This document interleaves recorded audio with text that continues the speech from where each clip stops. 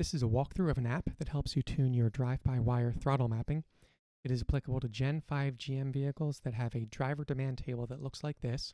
So the rows are referenced by accelerator pedal position from 0 to 100%. The columns are referenced by vehicle speed, and the cell values represent the amount of torque that the ECU is requesting of the vehicle.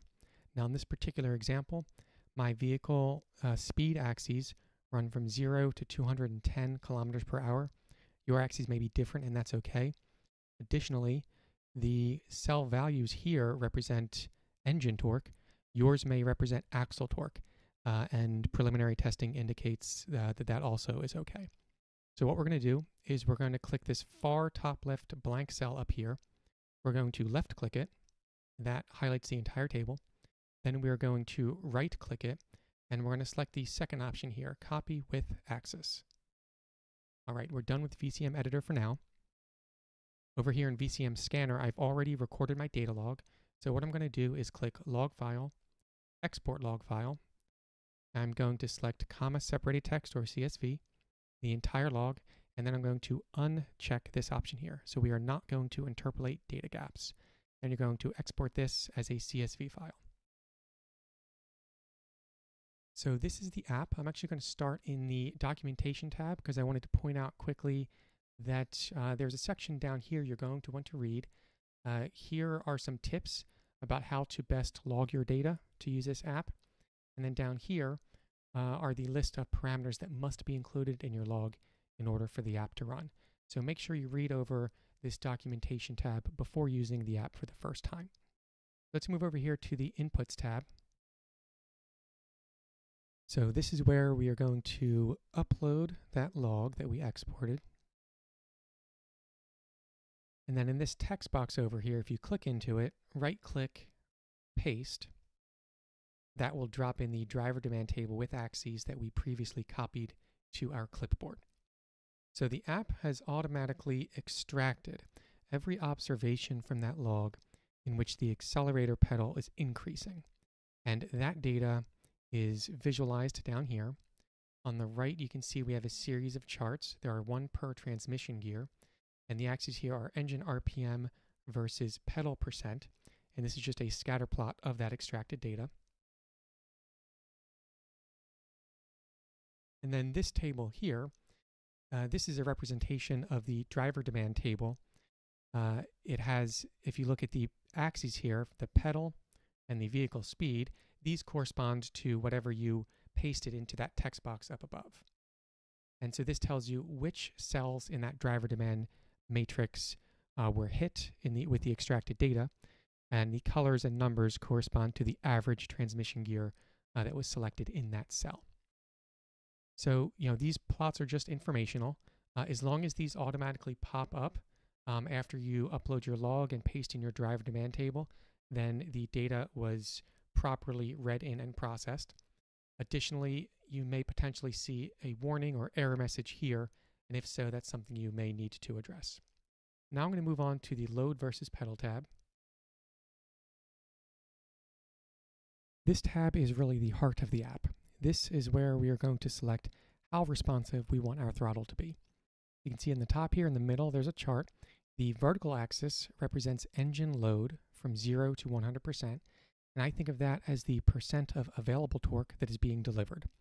The horizontal axis is your accelerator pedal, also from 0 to 100%. And you can see there are five different uh, preset profiles that you can select from to determine um, you know, what profile you want your uh, throttle to have. And as we change this uh, in the radio button here, we'll see that change reflected on the chart. Now down here below, there are a series of charts. They all have the same axes as above, so load versus pedal, uh, but there is one per driver demand table column. So those are referenced by vehicle speed, 10 kilometers per hour, 20 kilometers per hour, 30, 40, and so on. Uh, and for each of these charts, you'll see that there's uh, colorful scatter plot data here. That is the extracted data corresponding to that column uh, of the driver demand table. We also have solid black points connected by lines. Uh, that essentially represents a moving average. Uh, however, each one of those points corresponds to one of the pedal bins or rows of your driver demand table. So notice that they're clustered pretty closely together on the far left side, and then they're spaced uh, wider apart on the right side, just because that's how those rows are defined in the driver demand table. Now, the last element shown on these charts is this dashed red line here. That's our target. That's whichever profile we selected up above. And so basically, these visuals give you insight into what exactly it is that the app uh, does. So if we look here, for instance, uh, the app will know that, okay, our target profile is this dashed red line, and our average profile is this black one. So for instance, at this point here, so for, um, for the driver demand cell corresponding to 30 kilometers per hour and uh, pedal percent, uh, what, 44 I think this is, uh, we can actually pull torque away because that will bring our average uh, curve down to our target curve. Uh, conversely, for like these points in here, uh, the app knows that we can add torque because that will take this average line and push it up to meet our target. And so that's basically what the app does. It goes through every column. Um, it compares the average load curve versus your target load curve, and then it automatically calculates uh, those corrections um, to you know bring your your load curve uh, in line with the target. Uh, I did want to also show off one additional feature here. In addition to the five preset profiles, there's also this custom option here, and I just want to show you how that works. We click custom. Uh, we see some additional content has populated down here. So first what you're going to do is you're going to select one of the uh, existing profiles as sort of your starting point. So maybe you want to start with like Peppy, for instance. All right. Now these here, these are the values uh, that define that Peppy curve. So we can edit these however we want. Maybe we want to take this and increase it to 85 and maybe increase this to 77 and increase this to, you know, 66 or something. All right. Now all checks have passed, so I go ahead and apply changes. I click this, and we'll see up here, we have our custom curve. As we can see in the lower portion, um, it aligns with that Peppy curve because that's what we started with. And then I just edited a few of those sort of uh, points in the middle. And so we can see here, that's where that curve now, um, you know, separates itself from that Peppy curve. And then it lines up here again. So you can kind of play with this as you want. And maybe, you know, maybe you come up with a custom curve you like yourself. You can basically just take this whole thing, copy it, paste it into like a text file offline or something, um, and then you sort of always have that available. You can always just paste that right in here.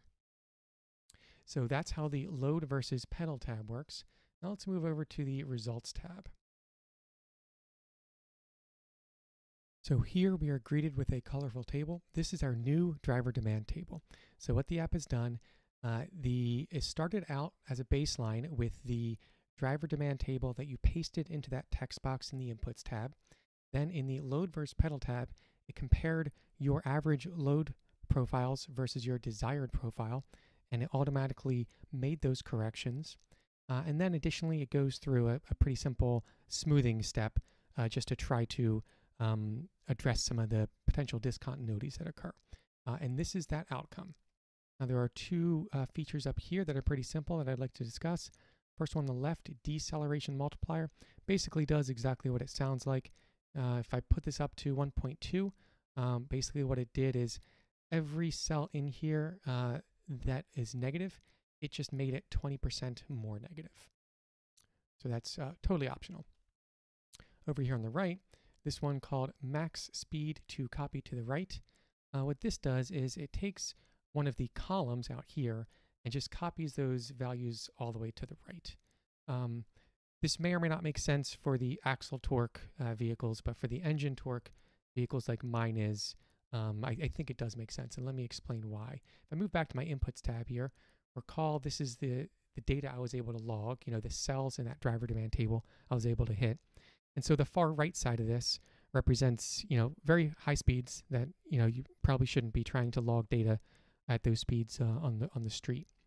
Um, so like these cells out here, instead of just kind of leaving them at their stock values, we can kind of take our um, kind of our highest speed values that are good and just copy those to the right. And if, if you decide to do that, um, my suggestion is don't use the column furthest to the right, which for me would be 160 kilometers per hour, but use the one just right to the left of that. So for me, that would be 140 kilometers per hour. Reason for that is edges are hard to smooth. So if you choose the one kind of one to the left, it should give you more stable values. I'll go, go ahead and use that feature here. Change this to 140. And so now you'll notice in this 140 column, all these values were copied to the right. And I did that for the entire column. All right. Like I said, this is our new driver demand table. So we can download this by clicking this CSV button right here. So now we can copy and paste this back into VCM Editor. And so we are not going to select the entire table. Instead, we are just going to select the values here, uh, not including the axes. So I've highlighted all that, right click, copy, and then I can go back here to VCM Editor, click the top left cell that actually has a value in it um, with a color there, um, left click that, and right click and paste. There we go. So we've just updated our driver demand table. Now at this point, rather than just saving this and loading into your car and just sort of running off, uh, I do recommend you do some kind of spot checking and fine tuning. And I did add some additional capabilities in the tool here to help you with that. So at the bottom here are um, one-dimensional profile views. So these core, these represent a single slice through your driver driver demand table. So on the left here, these are referenced by speed. So these are your columns in your table. And then over here, these are referenced by your pedal bin. So these are the rows of the driver demand table. And so you can just sort of inspect these to look for any potential kind of discontinuities or any sort of weirdness that you may want to sort of massage out by hand. Um, it's just an example right, right off the bat here at this, you know, speed equals zero kilometers per hour. So that's the very first column, the far left of the table. You can see here, this all looks smooth at the top. This all looks pretty smooth at the bottom. There's a little bit of a bump here. So maybe this is a, you know, example something that you would maybe want to hand massage out. And you're going to do that directly in the uh, VCM editor. There are two other areas where you may want to kind of focus your time. Um, one is basically the lower left uh, kind of quadrant uh, of this table. That corresponds to low speeds and high pedal percents. That's an area that's just difficult to log. Uh, so there may be some sort of weirdness in the data there. Um, another area you may want to look at is the sort of transition zone between your negatives and positives. So for me, that looks like something like this. It kind of travels down here. The reason you may want to look at that is that uh, by design, uh, this app will not make any significant changes to any of the negative valued cells um, across from that multiplier functionality um, that I displayed. Um, so it won't, for instance, like take this cell here, negative 28, it won't like turn that positive, again, kind of for safety reasons. Um, so you may want to play with sort of that transition area between the negatives and positives. And so down here, let's kind of show kind of two of those areas. So the um, that last one I just mentioned was that transition area between negatives and positives. So here's an example of that. You know, our curve comes down like this, and then where it crosses this uh, dotted uh, zero line here, that's that kind of transition phase. So you may want to potentially do some massaging in those areas. Uh, the other one I mentioned was low speeds and high pedals. So show an example of that. So here at pedal is at 62%. That's pretty high.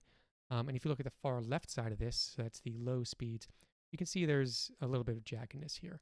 So this an area you may want to just sort of level off, uh, maybe bump this value up a little bit, maybe, and then maybe just flatten these off just so it's smooth. And again, all that you're going to um, just kind of do uh, directly in VCM Editor right here. Uh, there are additional tools here you may want to take advantage of. Um, in VCM Editor, they have their own, uh, what they call 2D chart that shows a bunch of profiles. Uh, this can be helpful to, um, you know, give you an, an, indication as to how smooth your curves are. And then we, when you sort of think you're done, you can uh, use this 3D chart. This is nice too. You um, right click and drag here, um, and you can just sort of inspect the whole thing and, you know, try to get it as smooth as possible.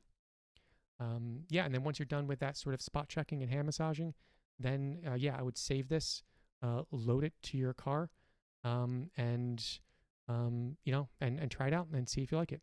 So that is the app in a nutshell.